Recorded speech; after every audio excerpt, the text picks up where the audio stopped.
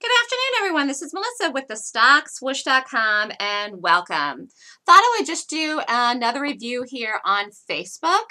Um, basically, Facebook, I was looking at this for the last couple of, you know, days and uh, the targets for this are still intact. Someone had tweeted about this with the targets. The targets on this are still intact.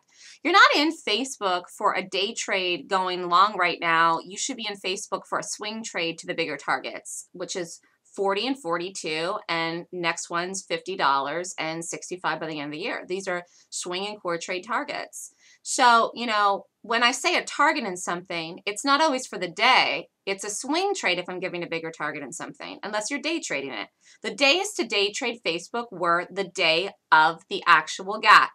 And then there were two days after the fact to day trade this here and then one day in here, you know, which I called. So you day trade, you're looking for targets. If they don't get to the target by the end of the day, then it's a swing trade if you want to hold it overnight, which a swing trade is several days or could be even 10 days, could be even two weeks.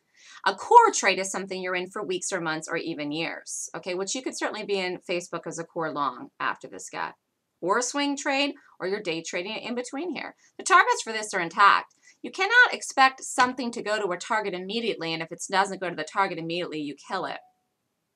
I know lots of people think, you know, I have a crystal ball because I'm so good in my calls and things.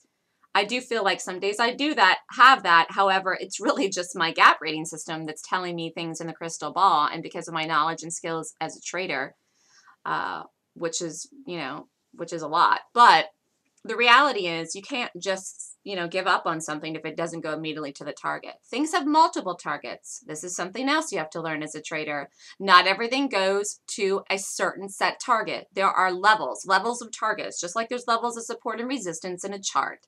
And you're looking for the first target, the second target, and so on and so forth, and what I call the dream target. Of course, the dream target on Facebook is $100. I don't think it gets there by the end of this year. I think it's realistic in the next 12 to 16 months.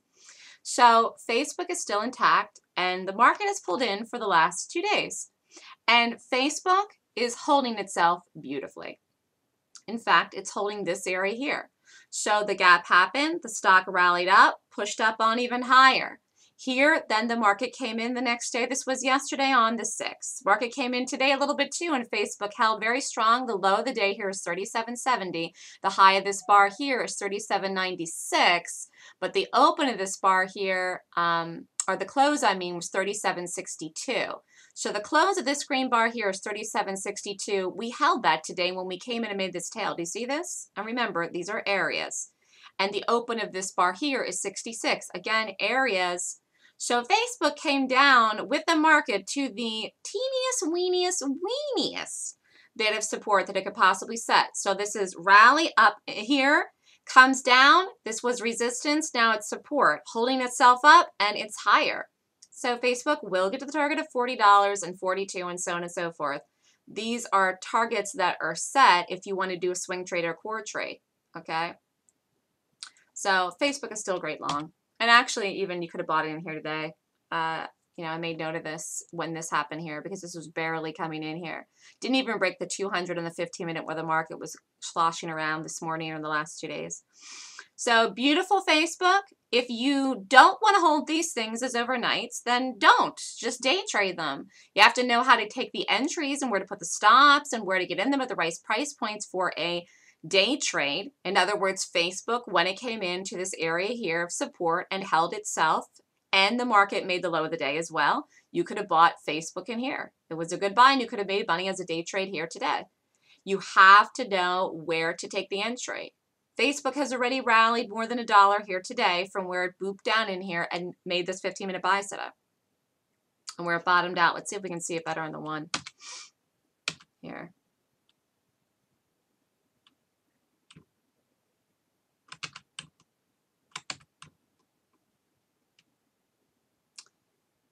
See what time it did it. Here, so when it came down hard here at 10 o'clock, bounced up, came in, bounced up, came in, here was, here was it. So the safe entry would have been over here. Okay, safe entry, bigger, bigger stop, okay? Or you take it again here when it confirms and doesn't break a new low and you already know this area, here's the area that's important. You're looking for this to hold. When it comes down and comes down and holds, you can take it as a long. And it was a nice trade. So if you'd like more information on how to read gaps and rate gaps, you can reach out to me and email me at melissa at thestockswoosh.com. Thanks, everyone. Have a great day.